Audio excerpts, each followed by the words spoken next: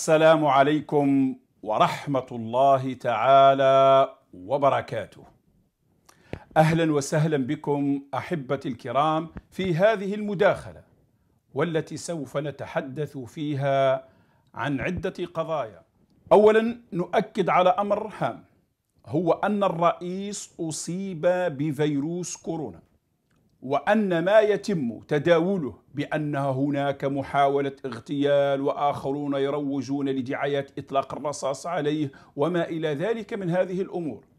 هي لا أساس لها وبعيدة كل البعد بل هي مجرد أكاذيب يتبناها البعض لتكذيب أكاذيب أخرى قائمة وبينها التي تورطت فيها حتى لرئاسة الجمهورية للأسف الشديد. الرئيس كما ذكرنا في المداخلة الأخيرة أنه ظهرت عليه الأعراض ثم تضاعف الضرر بسرعة وحتى وصل إلى أن دخل في غيبوبة بعدما صار لا يستطيع التنفس. تم نقله إلى مستشفى عين النعجة فجرا وبعد ذلك تم مباشرة إلى نقله إلى ألمانيا حيث يتواجد في مستشفى عسكري بقاعدة عسكرية في مدينة كورونيا الألمانية. ومن يقول غير هذا فهو يكذب عليكم. هذه المعلومات المؤكدة بل أن حتى برقية أرسلها الملك السعودي سلمان بن عبد العزيز آل سعود إلى الجزائر.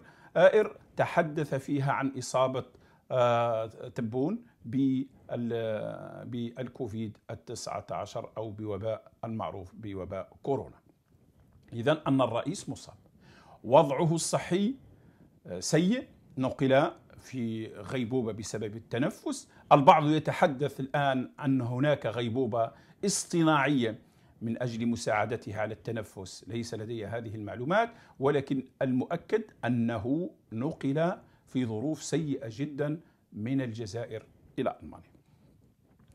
إذا من يقول غير هذا فهو يزايد ويدعي فقط ويريد أن يخلق شوشرة في ظل الأسف للأسف الشديد في ظل أن رئاسة الجمهورية أو الإعلام الرسمي والإعلام الحكومي بائس بمعنى الكلمة لم يتغير. وتذكرون جيدا أيها الإخوة الكرام أنه في الفترة الأخيرة كل مرة أتحدث عن هذا الموضوع أناشد رئيس الجمهورية السيد عبد المجيد تبون الذي نتمنى له الشفاء العاجل أناشده بضرورة تغيير طاقمه الإعلامي بضرورة هناك من يريد أن يورطه هناك من يستهدفه من خلال بعض السلوكيات والتصريحات ومن خلال بعض البرقيات. الآن الجزائريون أراهم مشتتون في شبكات التواصل الاجتماعي في المواقع الانترنت من أجل معرفة أخبار رئيسهم ويكاد الجميع يجزمون أنه لا ثقة لديهم فيما تقوله رئاسة الجمهورية. وكنت دائما أتحدث من أن استعادة ثقة الجزائريين تكون بممارسات تكون بأفعال وليست بأقوال. القطيعة مع نظام بوتفليقة ليست فقط شعارات يتبناها الرئيس أو تتبناها وزارة الدفاع أو أو تتبناها الحكومة بل هي يجب أن تتجسد في أفعال من خلال إبعاد الأشخاص الذين كانوا يطبلون ويزمرون لبوتفليقة ولكن للأسف الشديد هذا لم يحدث. وشفنا أخواننا الجزائريين كيفاش استفتاء على تعديل الدستور. شكون راه يديروا في الحملة الانتخابية. الأحزاب التي كانت تدير في حملة الانتخابية العهدة الخامسة نفس الخطاب البائس اللي كان يديروه وزراء بوتفليقة هناك من يشتم الجزائريين بطرق مختلفة هناك حتى من يتطاول على الجزائريين بطردهم مثل ما كان يعمل عمار بن يونس وغيره. يعني لم يتغير شيء. كيفاش نقول لهم في أول نوفمبر أننا دسترنا بيان أول نوفمبر لأول مرة.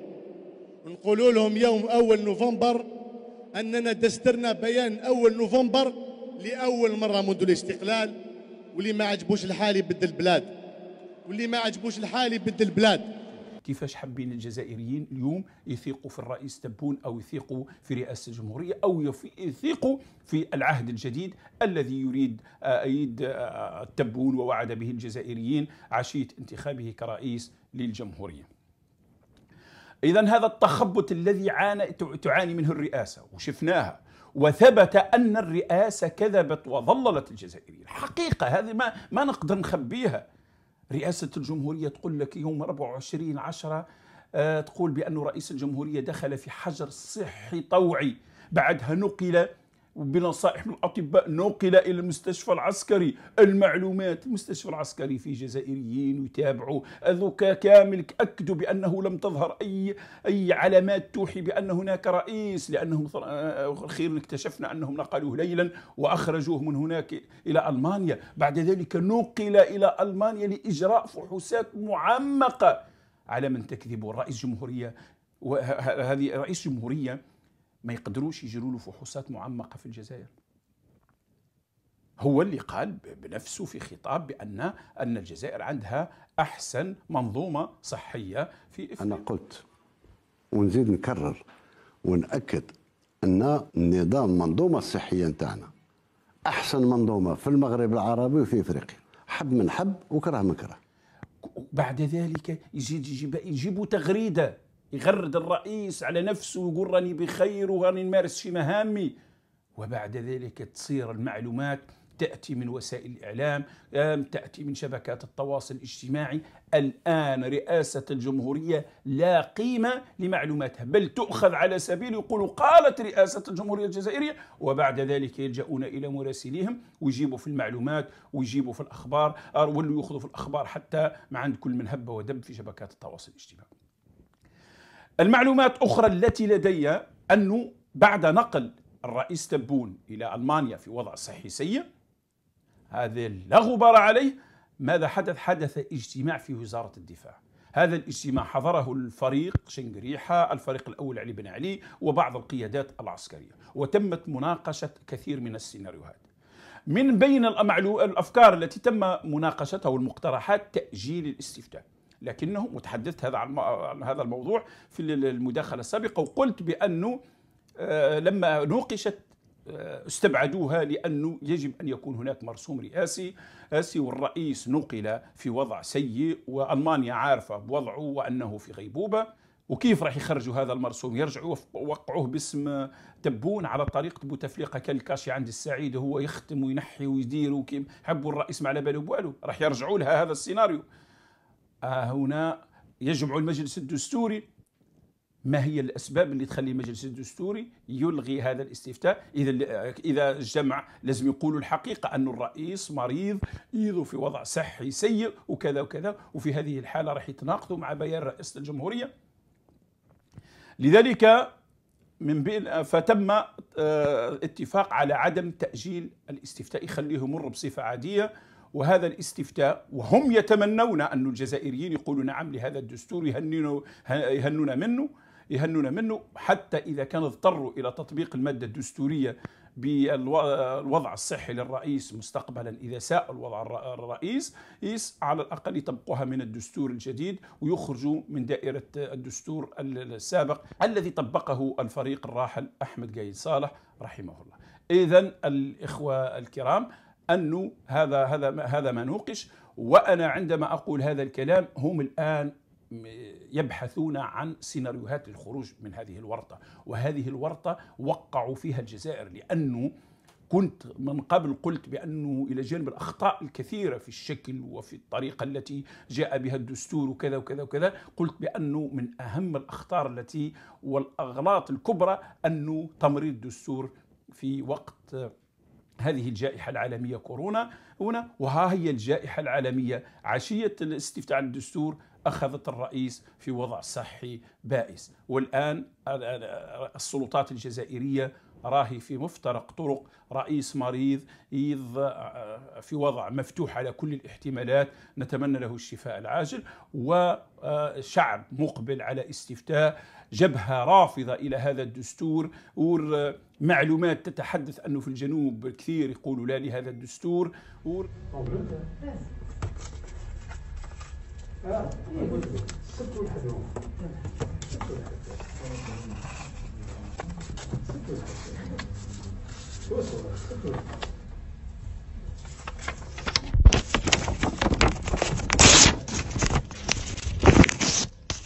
معلومات تتحدث على أن هناك الكثير من الجزائريين في الجنوب حيث انطلقت انطلقت العملية عملية الاستفتاء يقولون لا لهذا الدستور. وصلتنا رسائل من جزائريين تتحدث على أن الناس اللي وضعوهم في آه، في هذه العملية عملية الاستفتاء أشخاص مشبوهين ليس لهم مستوى دراسي. وهناك أيضا من يتحدث على أنهم كانوا من قبل حتى عملوا في الانتخابات السابقة. السابقة وسمعتهم سيئة ولا يعول عليه. ولذلك عندما قالوا هذا الكلام يحرصون الجزائريين على ضرورة مراقبة والبذل الجهد من أجل أن تمر أن لا يحدث أي تزوير. قد تكون السلطات العليا لا لا تريد التزوير ولكن نحن نعرف السلطات المحلية وبعض اللوبيهات والعصابات اللي موجودة على مستوى الدوائر وعلى مستوى البلديات وعلى مستوى الولايات التي قد تلجأ إلى اساليب اساليب حيث تتوهم أن السلطة تريد منهم التزوير فيبادرون بأفعال من دون أن يسد لا يمكن بعد أن يجي رئيس بلدية أو أو سلطات محلية تتصل بالسلطة تقول لهم واش حابين التزوير ولا لا. أعتقد بانه هذا لن يحدث ولذلك يتوهمون بعض الأوهام تخليهم يلجأوا إلى تزوير هذا الاستفتاء. إذا بسبب هذا التخبط بسبب هذا التخبط في المعلومات خلال أن الفريق شنقريحة آه، أكد طلب منه من الرئاسة أنه لا يمكن نشر أي شيء بيتعلق بالرئيس ووضعه الصحي إلا أن يمر على المصالح مصالح لوزارة الدفاع. آه، لأنه هذا التخبط كان كارثي جدا. أنه كان المسؤولين المستشارين الإعلاميين تصرفوا بطريقة لا يمكن تصورها أبدا. أنا أتمنى أن يعود الرئيس في صحة جيدة. وأول قرار يجب أن يتخذه إقالة إقالة الطاقم آه، الإعلامي لرئاسة الجمهورية بالكامل ومحاسبته على هذه الأخطاء القاتلة هذه الأخطاء المدمرة لأنه خلاص رئاسة الجمهورية عند الجزائري الآن مثلها مثل ما كانت في عهد بوتفليقة. بوتفليقة يقع في وضع يعلمه إلا الله تعالى. وهم يقولوا أو بخير وذكي ويمارس في مهامه ويكذبوا وبعد طلعت هذه العصابة عصابة فساد وعصابة نهب المال العام. وهكم تشوفوا في المحاكم ماذا يحدث. آه، من الناس اللي موجودين في الرئاسة لأنه للأسف تم اختيارهم على أساس الولاءات وليس على أساس الكفاءات أضروا أولا برئيس الجمهورية السيد عبد المجيد تبون إضرار لا يمكن تصوره. أضروا بوزارة الدفاع التي هي في نظر الجزائريين أو المؤسسة العسكرية التي هي في نظر الجزائريين ما زالت تقف تقف آه، وتساعد من أجل استمرار آه، المسار الذي اتخذ للخروج الآمن للجزائر من المستنقع الذي كان يراد لها. وللأسف هذا أيضا أساء للمؤسسة العسكرية. الجزائريون الآن الآن صاروا يتابعوا في أخبار كما قلت من جهات أخرى ليس لهم ثقة في الإعلام الرئاسي ولا في الإعلام الحكومي ولا في القنوات الفضائية للأسف الشديد التي مجبرة لأنها قنوات فضائية مكاتب أجنبية أجنبية وحتى غير قانونية كما قال وزير الإعلام من قبل تعمل بطرق غامضة خارجة عن القانون في كثير من الأحيان أن يجب أن تسوق إلى ما يأتيها من الرئاسة ومصالح الرئاسة إذا الإشكالية الكبرى هناك في رئاسة الجمهورية وهناك أيضا في المسؤولين الإعلاميين في, في, في والمسؤولين الأمنيين والمسؤولين أيضا في وزارة الدفاع والحكومة الذين يجب أن يتخذوا قرارات صارمة. فمرض الرئيس هذا امتحان كبير ولكن للأسف كان من المفروض يعطي صورة جيدة صورة أن الجزائر حدث فيها بالفعل تغيير ولكنها للأسف أكدت أنه لم يحدث أي تغيير. الطريقة البوتفليقية في معالجة أمر الدستور والطريقة البوتفليقية في تقديم الدستور والطريقة البوتفليقية في التعامل مع الجزائريين والطريقة البوتفليقية حتى في التعامل مع الرئيس عبد المجيد تبون الذي أصيب بوعكة صحية. ليس عيبا هذا وباء عالمي. الرئيس الأمريكي لما أصيب أعلن وذكروا حتى اسم المرأة التي آه، ثبت لديها الكوفيد و نقلت إليه العدوى بصفة عادية. رئيس الوزراء البريطاني آني أيضا عندما أصيب نشر مباشرة وتعامل وأخذ هناك هناك كثير من وزراء ورؤساء حكومات أيضا أصيبوا أصيبوا وهناك من شك وأخذ حجر صحي. وبعد ذلك تبين أنه غير مصاب ويتم الإعلان بشفافية. ماذا لو ماذا سيضر رئاسة الجمهورية لو أنه أصدرت بيان عندما ظهرت الأعراض على الرئيس؟ الرئيس عبد المجيد تبون نقلت اليه أصابه فيروس انتقل إليه فيروس كورونا وظهرت عليه أعراض هذا الكوفيد. بعد تكون يوميا كاين نشرية من رئاسه الجمهورية. هي الرئيس بدأت الآن الرئيس متعب ظهرت عليه أعراض الحمى ظهرت عليه ضيق التنفس. ليس جريمة من الرئيس ولا من منه. هذا طبيعي يمرض كل إنسان. وبعد ذلك إذا نقل مستشفى الناجة الرئيس يس بعد تطورات في الأعراض تم نقله إلى مستشفى النعجة بعد ذلك إذا ظهر الرئيس دخل ضيق الوضع الذي في آل إليه الرئيس. ليس على ما يرام. عام عام لذلك أن أطباء النعجة نصحوا بنقله إلى ألمانيا حتى لا تظهر مضاعفات أخرى فالرئيس عنده مريض بالسكري وعنده ومدخن وكذا وكل هذه الأعراض وكل هذه الأمراض تساعد على على على نقل أو تساعد على على انتشار الكوفيد وإضراره والفتك بانه يفتك بأي إنسان يدخل. هذا طبيعي جدا. مؤسسة الرئاسة تكسب مصداقيتها الجزائريون يطمئنون على رئيسهم. وسائل الإعلام تغلق أبواب التضليل وتغلق أبواب المتاجرة وصبح كل من هب ودب أب يحط أمامه الكاميرا ويحكي ويحكي عن الرئيس. إيس أيضا تحافظ على مصداقية الدولة لدى المؤسسات الأجنبية والمؤسسات الإعلامية الأجنبية.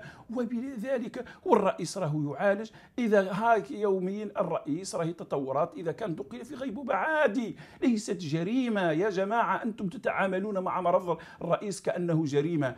ترى الأمريكا التي عندما يعطس رئيسها رئيسها يمس الاقتصاد العالمي ورغم ذلك يعلنون أنتم مرض الرئيس ماذا سيضر بالاقتصاد العالمي ولا أي ولا الاقتصاد الجزائري؟ أصلا الاقتصاد الجزائري هش والاقتصاد الجزائري آه، مهلوك كما يقولوا. وأنت واش راح يضرك؟ تقول رئيس الجمهورية تعطي الحقيقة للجزائريين. حتى لا أطيل عليكم أنا شخصيا أتمنى لرئيس الجمهورية الشفاء العاجل وعندما نعطي هذه الأخبار يجب التأكيد على أمر هام أننا لا نتشفى برئيس الجمهورية حاشا لله ولا يمكن أن نتشفى بأي إنسان حتى لو كان يكون ضدنا ويكون اختلف معاه ويكون أبدا كل من يمرض. نتمنى له الشفاء ونسأل الله تعالى أن تكون في ميزان حسناته وأن تكون تطهير له من ذنوبه. هذا ما نتمناه لأي إنسان. نحن نتمنى الرئيس أن يكون في وضع صحي ويعود يمارس مهامه وحتى لا نعود إلى مربع آخر ولكن آه، عتبنا كبير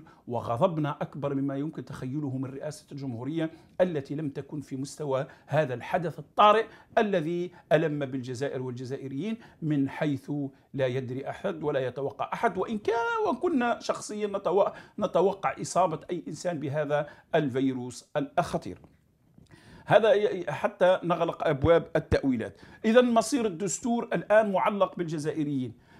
تحدثنا كثيرا عن هذا الدستور الذي يشكل خطر على في مواده تناقضات كثيرة فيه أخطاء شكلية جسيمة إما لا تليق بالجزائر الجديدة والجمهورية الجديدة ولا تليق بحراك الجزائريين الذين أذهلوا العالم ذات يوم من فيفري 2019 بسلميتهم وبتحضرهم وبتطورهم وبمطالبهم المشروعة التي عبروا عنها بكل رقي بعيدا عن أي فوضى كانت متوقعة وكان يتوقعها المتربصون بالجزائر وبأمن امنها واستقرارها. على الجزائريين أن لا يشغلهم هذا الموضوع ويخليهم لا يذهبوا إلى صناديق الاقتراع. خذوا احتياطاتكم من حيث من حيث الاحتياطات الصحية حتى لا تنتقل لكم عدوى أو شيء آخر لا نتمناه لكم ولكن يجب الذهاب إلى صناديق الاقتراع. إسقاط هذا الدستور بأي وسيلة كانت ننتظر وبعدها ننتظر بإذن الله تعالى ما سيؤول إليه حال الرئيس. إن شوفي وهذا الذي نتمناه. ستتخذ قرارات أخرى تبدأ بحل المؤسسات الدستورية هذه القائمة حل البرلمان وما إلى ذلك. ثم بعد ذلك تأتي خطوة أخرى على طريقة أخرى ناجعة ونافعة وناصعة لإعداد دستور يليق بالجزائر والجزائريين. أما إذا كان بقي الوضع الرئيس على ما هو عليه يجب أن الجزائر تستمر آه، وتكون أولويتها ليس الدستور ولا أي شيء آخر تكون أولويتها مواجهة هذا الوباء آه، الذي سوف يكون بلا أدنى شك سينتشر إذا كان وصل إلى رئيس الجمهورية. كيف حال الجزائريين في الجزائر العميقة؟ وكيف وضعهم والفقر والوضع الاجتماعي البائس وكذا؟ خلي الحكومة والدولة الجزائرية أولويتها هي مساعدة الجزائريين في مواجهة هذا الوباء الخطير الذي سوف يدمر ما تبقى من اقتصاد الريع الذي تمتلكه البلاد. تكون هذه الأولوية. وإذا كان ربي سبحانه أراد غير ذلك ورحل الرئيس هذا شيء آخر. هناك هناك مخطط أو هناك مسار دستوري اتخذ من قبل سيستمر هناك مادة ستطبق مرة أخرى وفي هذه الحالة التي لا نتمناها طبعا سيكون لكل حادث حديث. هذا بالمختصر المفيد ما أردت أن أقوله لكم في هذه المداخلة. أشكركم جميعا على متابعتكم وثقتكم واهتمامكم بهذه القناة وبهذه المداخلات وأشكركم على الترويج لها وأحفزكم على المشاركة في هذا القناة هذه القناة التي سوف نتعامل بموضوعية ومهنية وأخلاقية مع أي معلومات تأتينا. فإن كانت في صالح الجزائر وفي الصالح العام أكيد سنقولها وإن رأينا غير ذلك لا يمكن ابدا أن نكون في موقف نضر بأمن وطننا واستقراره. شكرا لكم أحبتي الكرام. ألقاكم بإذن الله تعالى في مداخلة أخرى. إلى ذلكم الحين. أستودعكم الله الذي لا تضيع ودائعه. والسلام عليكم ورحمة الله تعالى وبركاته. لا تنسوا الإعجاب بالفيديو والاشتراك في القناة. تشجيعا لنا لنستمر بنشر المزيد إن شاء الله.